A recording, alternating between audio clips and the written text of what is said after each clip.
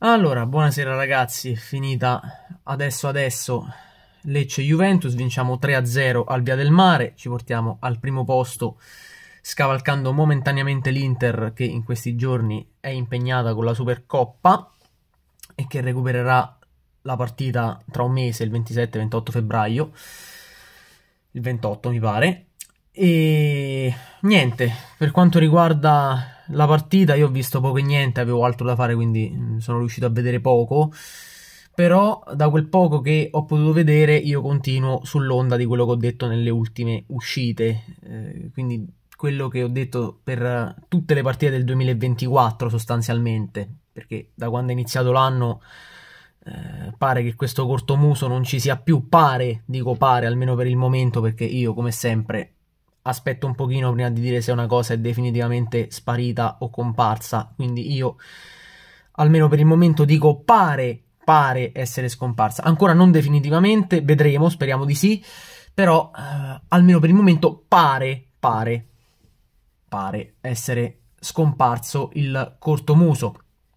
Una Juventus che, come ho detto anche nelle scorse uscite, eh, è una squadra che se non si fa prendere dalla paura, se non si fa prendere dall'ansia, se eh, dopo aver segnato il gol dell'1-0 non si rintana tutta dietro a difesa del vantaggio eh, in maniera abbastanza provinciale, è una squadra che se gioca a calcio il suo lo sa fare benissimo, a maggior ragione con squadre di medio-bassa classifica come il Lecce, a cui tu mediamente devi fare 2-3 gol eh, a partita quando giochi contro questo tipo di avversario. E stasera la Juventus ha fatto il suo, non ha fatto una grande partita, non ha fatto uh, una partita da schifo come abbiamo viste tante in questi due anni e mezzo con, uh, con Allegri in panchina dove uh, abbiamo fatto gol e poi ci siamo rintanati dietro sperando nel cortomuso nell'1-0 o se gli avversari fanno gol 2-1 quindi una Juventus che non ha strafatto, ha fatto il suo contro un avversario, ripeto, di, eh, di caratura non eccellente, eh, un avversario di medio-bassa classifica, sempre con tutto il rispetto, dove tu sei andato lì a casa loro, hai fatto il tuo, hai fatto tre gol e l'hai rimandati a casa, tranquillamente.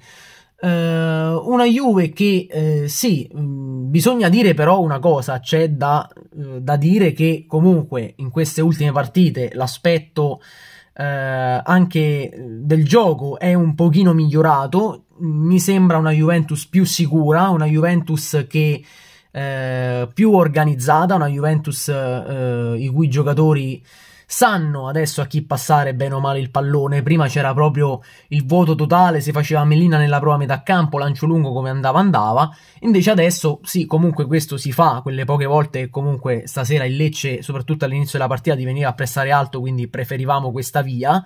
Eh, però quando comunque il Lecce si era stancato di pressare, eh, siamo riusciti anche a tenere palla al piede e cercare di impostare l'azione dal basso in maniera costruita in maniera costruita. E questa è una cosa che la Juventus fa sempre con più eh, intensità, sempre con più decisione.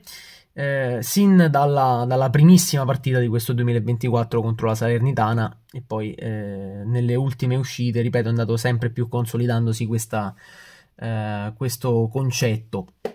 Una Juventus che eh, mm, ecco, fa tre gol due con Vlaovic, tutti nel secondo tempo, perché nel primo eh, una Juve sicuramente migliore rispetto a Lecce che però non era riuscito a trovare il gol.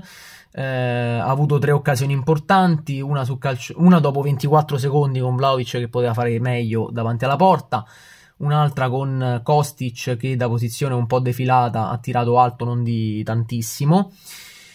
Eh, e poi c'è stata un'altra occasione su calcio d'angolo con McKenny che, che, non è riuscito a trovare la porta. Poi nel secondo tempo siamo rientrati eh, più, più, decisi. Eh, Juventus che ha trovato subito il gol con, con Vlaovic eh, l'1-0 eh, su, su, azione. Il secondo su, su eh, sì, dopo insomma, un tiro di, di Ildiz centrale respinto, Cambiaso ripropone in mezzo per Vlaovic che insacca al volo di sinistro.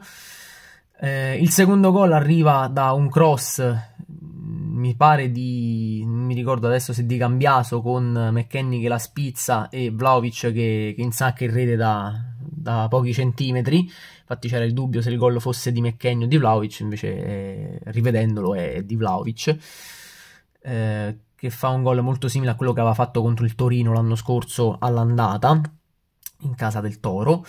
E, e, poi il 3-0 arriva su un calcio piazzato battuto da, da Eiling Junior che, che, Bremer mette in rete eh, di testa, svettando più in alto di tutti, confermandoci ancora molto abili sul calcio piazzato. Però quello che salta più all'occhio a tutti è che in queste ultime gare un'altra cosa che sembra aver ritrovato è il grande apporto degli attaccanti, in modo particolare di Dusan Vlaovic che eh, è arrivato a 10-11 gol in campionato, mi pare, con, questo, con questa doppietta di oggi. Quindi, comunque, eh, si conferma il fatto, come ho detto anche contro il Sassuolo, che Vlaovic è uno di quelli proprio in maniera principale. Che se uno che se eh, la squadra gioca libera, eh, se la squadra gioca comunque Ehm, senza ansia, senza pressione. Lui è uno di quelli, un po' come Rabiot. Dico sempre anche la stessa cosa di Rabiot.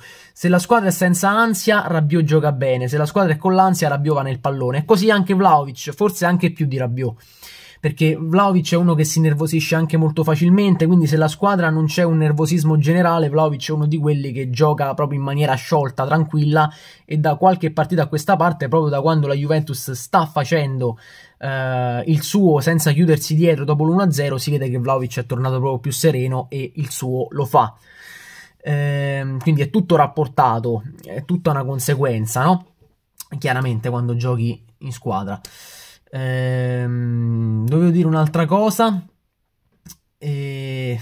Sì, insomma, una, una Juve che poi nel secondo tempo, cosa molto importante, non si è richiusa poi dietro dopo l'1-0, ma ha continuato ad attaccare, ha continuato ad essere più propositiva, ha continuato a fare il suo. E questo speriamo, ripeto, come ho detto all'inizio video, speriamo che questa cosa si tramuti in una cosa definitiva da qui alla fine della stagione. Eh, con eh, sempre meno cortomusi, sempre meno Juve che dopo il vantaggio si chiude dietro cercando di sfruttare la ripartenzina, eh, mentre vogliamo vedere una Juventus, come anche dicevo all'inizio della stagione, che dopo aver fatto l'1-0 deve mostrare la sua superiorità a maggior ragione perché quest'anno non c'ha le coppe. Quindi la Juventus deve sfruttare il fatto di essere più fresca durante la settimana per, eh, per, arrivare in quell'unica partita che c'ha a settimana ed arare il campo, letteralmente arare il campo, fare il suo, fare 2, 3, 4 gol all'avversario e rimandarlo a casa, chiunque esso sia, che sia l'Inter, che sia il Lecce, che sia la Lazio. La Juventus quest'anno, eh, lo ripeto dall'inizio dell'anno e lo ripeterò fino alla fine, deve fare questo, quindi la Juventus stasera non la esaltiamo perché uh, stasera ha fatto il suo, però sicuramente gli vanno riconosciute delle cose che nelle, rispetto alle uh, ultime partite, specie dello scorso anno, del 2023, scorso anno solare, perché abbiamo finito l'anno sostanzialmente con due cortomusi con Frosinone e Roma 2-1 rispettivamente e 1-0, eh, gli va riconosciuto il fatto che comunque la Juventus eh, non cerca più di chiudersi dietro e di, di aspettare la botta fortunata per, per, un eventuale raddoppio, ma cerca di giocare anche dopo eh, il gol del vantaggio. E questo, ripeto, spero che sia una cosa che si possa vedere da qui fino alla fine della stagione eh, per il più possibile, ovviamente. Spero per tutte le partite da qui al termine della stagione. Questo è il quanto. Prendiamo questi tre punti e noi ci vediamo alla prossima. Ciao ragazzi, buonanotte e fino alla fine sempre forza Juve. Dai!